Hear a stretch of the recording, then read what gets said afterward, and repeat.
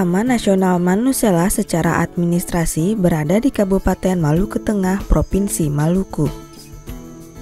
Kawasan Taman Nasional Manusela mencakup 20% dari keseluruhan luas Pulau Seram. Untuk mencapai Taman Nasional Manusela dapat ditempuh dengan menggunakan penerbangan dari Jakarta menuju Ambon. Kemudian dilanjutkan dengan menggunakan speedboat selama satu setengah jam menuju Masohi. Dari Masohi menuju Taman Nasional dapat ditempuh dengan dua rute, yaitu rute pantai utara dan rute pantai selatan.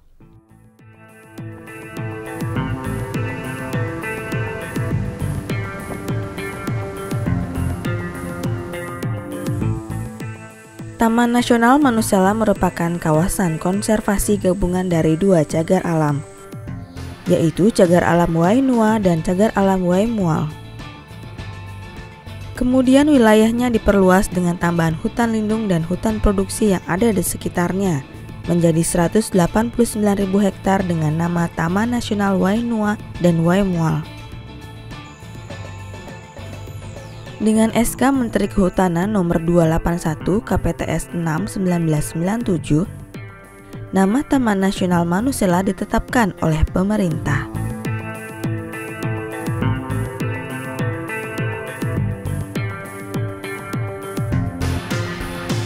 Kawasan Taman Nasional Manusela berada pada ketinggian 0 hingga 3027 meter di atas permukaan laut. Sebagian wilayahnya bergelombang, berbukit, dan pegunungan dengan puncak tertinggi adalah Gunung Binaya.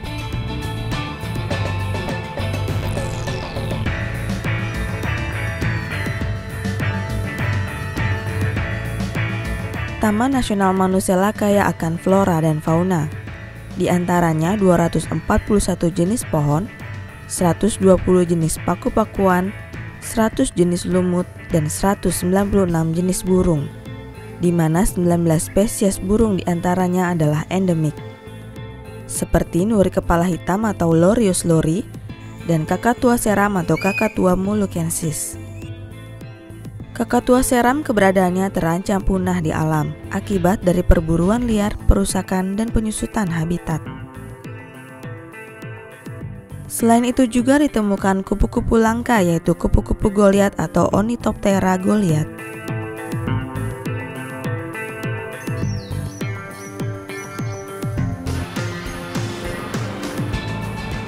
Taman Nasional Manusela secara ekologis memiliki tujuh tipe vegetasi, yaitu berturut-turut dari pantai hingga puncak Gunung Binaya.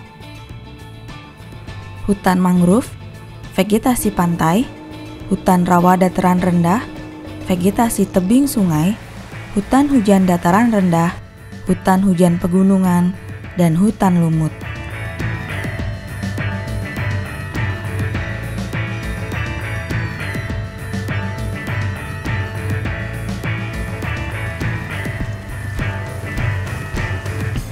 Dengan luas 189.000 hektar. Topografi berupa pantai hingga pegunungan, pihak Balai Taman Nasional memiliki kesulitan dalam menjaga dan melindungi sumber daya alam yang ada. Akhirnya dibentuklah PAM Swakarsa di 27 desa yang ada di sekitarnya. PAM Swakarsa adalah warga setempat yang ditunjuk bersama dengan polisi hutan untuk mengamankan dan meningkatkan potensi di Taman Nasional.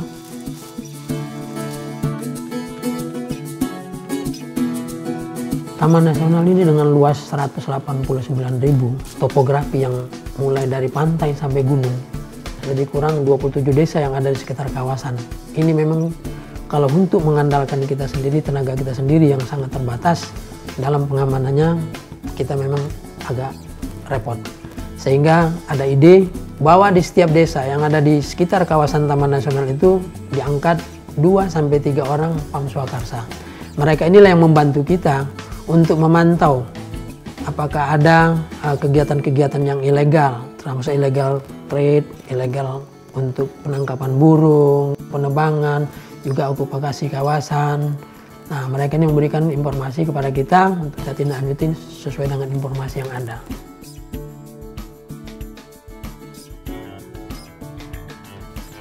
Saya sudah lima tahun, ya, kita semua kan menjaga Taman Nasional ini Taman Nasional ini untuk kita semua. Yaitu nah, pemerintah bikin ini untuk masyarakat, dari masyarakat kan, untuk masyarakat. Dengan kita merusak ya menjaga jangan sampai ada apa erosi banjir ya toh ya kita dapat musibah alam gitu. Nah ini harus hutan ini harus dijaga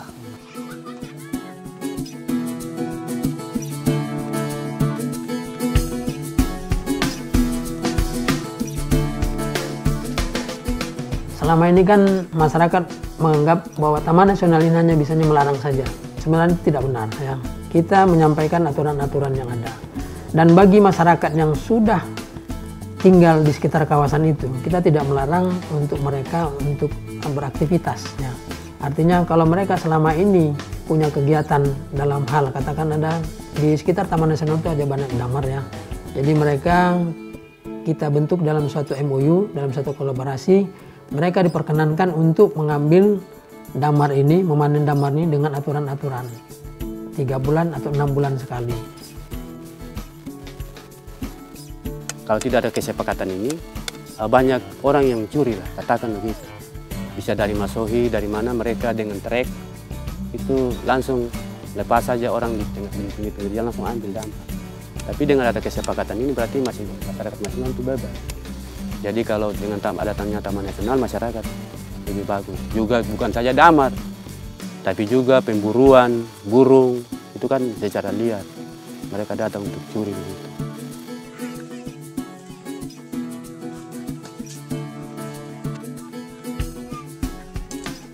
Untuk Wawulu ada kerajinan. Mereka punya kerajinan khas untuk membuat alau atau seperti keranjang, kemudian ada gelang, ini kan ya.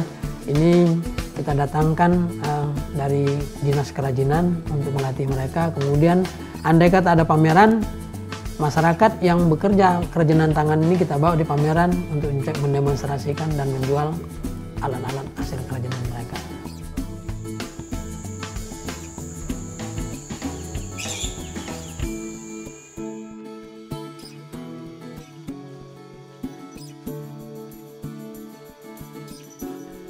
Dengan kondisi alamnya, Taman Nasional Manusela menyediakan ragam wisata petualangan. Mulai dari mendaki gunung, panjat tebing, menyusuri hutan, memotret aneka satwa, dan banyak lagi hal menarik yang ditawarkan oleh Taman Nasional Manusela.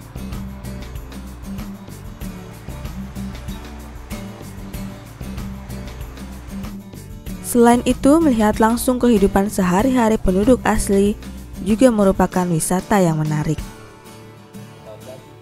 Musim kunjungan terbaik ke Taman Nasional Manusela adalah bulan Mei hingga Oktober.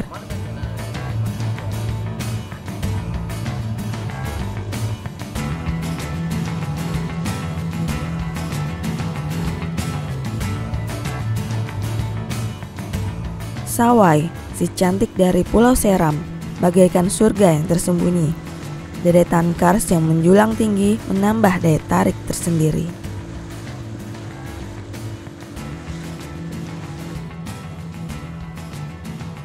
Tidak hanya lautnya yang indah, landscape meliputi kampung Sawai dan sekitarnya juga sangat menawan. Sore menjelang malam, kita dapat menikmati indahnya matahari tenggelam.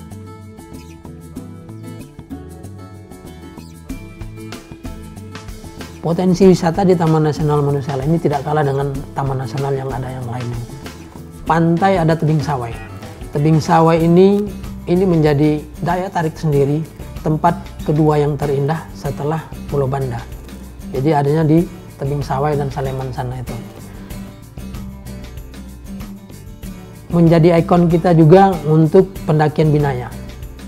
View Binaya atau pemandangan sini ini banyak hal yang unik yang sangat menarik bagi teman-teman atau pendaki-pendaki gunung karena dia juga termasuk Seven Summit dalam pendakian Gunung Binaya ini.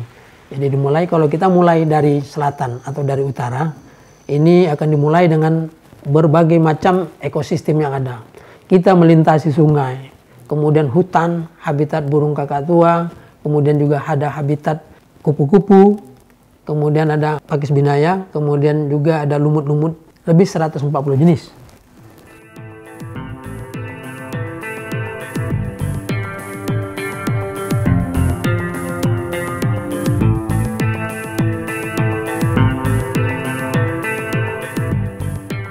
Mencapai puncak Gunung Binaya yang mempunyai ketinggian 3027 meter di atas permukaan laut dapat ditempuh melalui dua jalur, yaitu jalur utara yang dimulai dari Roho dan jalur selatan yang dimulai dari Yaputi.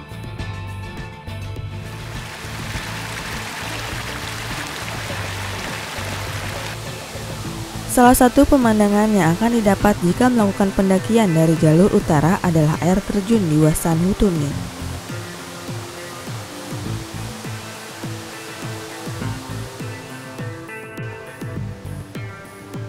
Sedangkan di jalur selatan terdapat mata air Nini Pala yang berwarna biru di Piliana.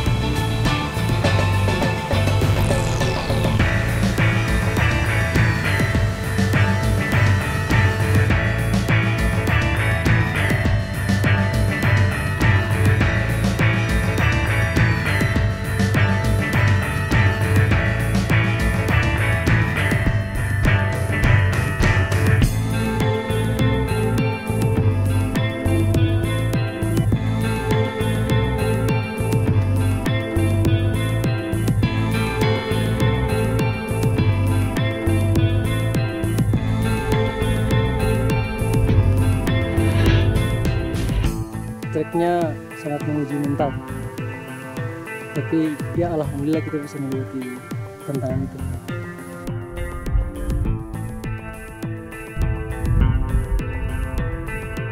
Kita punya gunung kita punya pantai kita punya tebing kemudian kita punya air terjun juga. Dan ini potensi semua potensi ini ini kita kembangkan. Yang sedang kita galakkan adalah pendakian binaya. Pendakian binaya ini cukup menarik bagi teman-teman.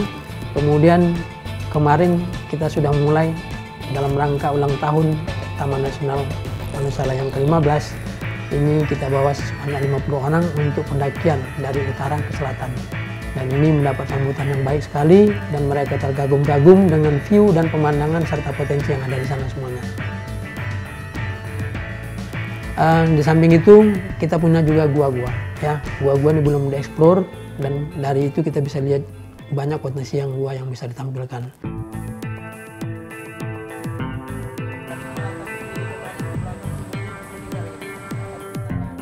Saya mengharapkan Taman Nasional Manusela ini dapat mengikuti atau sejajar dengan kemajuan yang diperoleh taman-taman nasional yang lainnya.